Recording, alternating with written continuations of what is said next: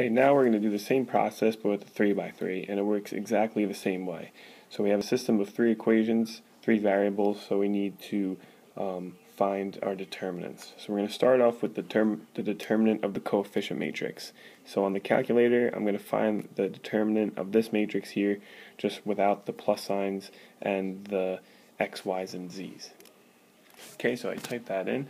I typed in the letters D, E, and T did open parentheses and then input a 3 by 3 matrix in between those parentheses and then typed in the coefficients here. Okay, hit enter. And so now we have D, the determinant of the coefficient matrix, is negative 363. Alright, now I'm going to do the same thing. So I'm going to copy and paste that, but now find D of x, which is you take your column that were the x coefficients and replace them with the answers. Okay, so then d of x comes out to be negative 2,541. Now, if we wanted to right now, we could find x by taking d of x and dividing it by d. And we get 7. So in this system of equations, x has to be 7. Okay, now to find y, we're going to take our original coefficient matrix. So don't copy and paste d of x. Copy and paste the original one.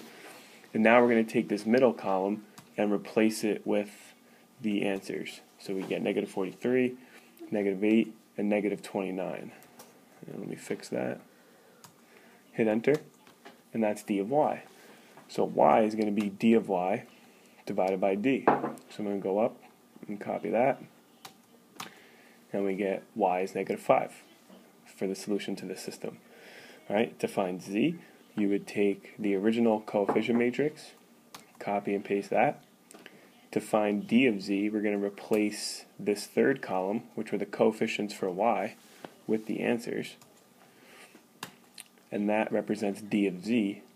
So z is going to be d of z divided by d, the original determinant of the coefficient matrix. And we get 2. So our final answer uh, for the system, x is going to be 7, dx divided by d. y is going to be negative 5, dy divided by d and then z is going to be negative 2. And if you plug those values in for x, y, and z into any of these equations, they will satisfy each equation.